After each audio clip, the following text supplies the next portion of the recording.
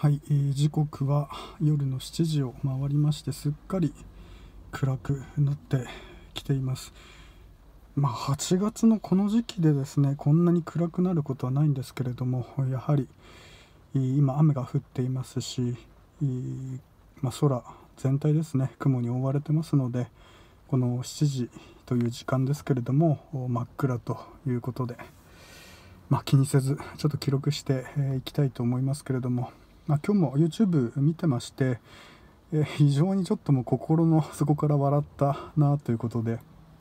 えー、私そのテレビあまり見てないものであまりというか最近は全然見てなくてそのバラエティ番組とかオリンピックも、えー、ちょっと、まあ、YouTube で少し見ましたけどねやっぱりテレビでリアルタイムで見るっていうこともなくてですね。でその久しぶりにそのある番組名を耳にしまして YouTube である方が言ってたんですけれども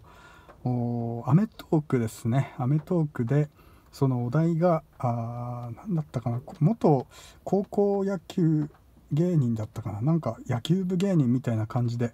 えー、最近だったかな。なんか特集されていたようです。でそれでその中でですね、えティモンディの高岸さんですかね、えー、やればできるの。えー、その方がですねなんかトークをしていた時のことをですね、えー、その YouTube で話をしていたんですけどもそのある方がですね。で本当に面白くてやっぱりその体育会系によくあるそのやればできるに代表することじゃないですけどもその高岸さんそんなに、えー、スパルタな感じで言うんではなくてなんかその勇気づけるというかなんかそう励ますような言い方でやればできるっていうことを言ってると思うんですけどもやっぱりもう一昔前というか、まあ、二昔前というか、まあ、本当にその体育会系って言われる人たちですかね。まあ、そういった方々本当に結構きつくそれこそやればできるっていうのを本当になその後になんでできないんだとかですね、えー、そういったこうことを、まあ、強く言ってた時代があったと思うんですけどもで その「そのアメトーク」の中でも爽やかにというか多分ですけどもねちょっと実際映像を見てないんでわからないんですけど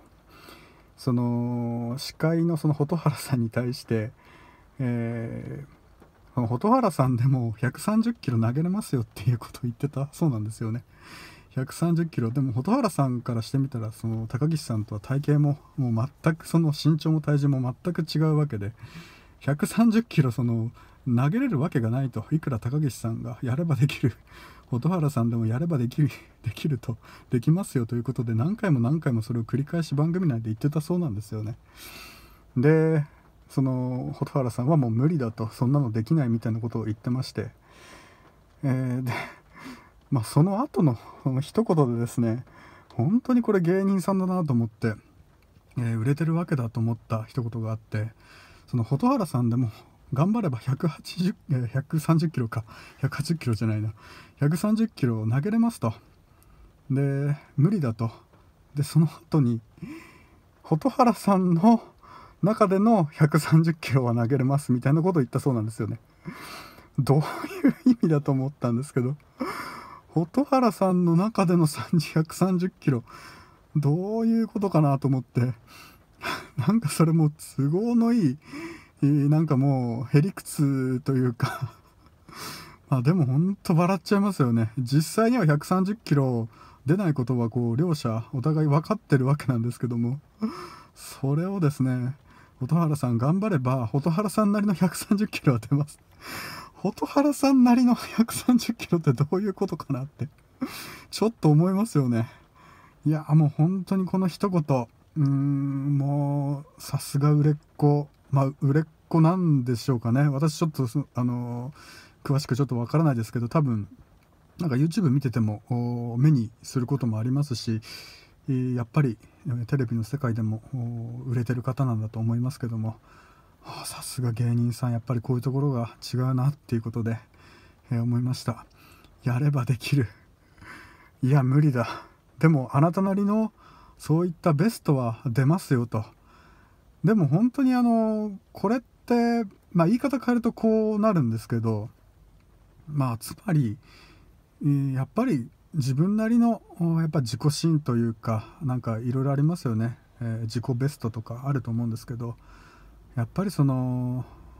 まあ趣味の話とかにちょっとつながっちゃいますけどもね。人と比べたら本当にもうキリがないですからもう本当にそれこそ、まあ、プロオリンピック選手とかもう本当上を見ればもう自分よりすごい人なんて本当に5万と星の数ほどいるわけで、うん、だからそういったところで、えー、比べてしまうと本当にこう楽しくないというか、うん、なんかそういったところにもつながってしまうと思いますのでその今回の高岸さんの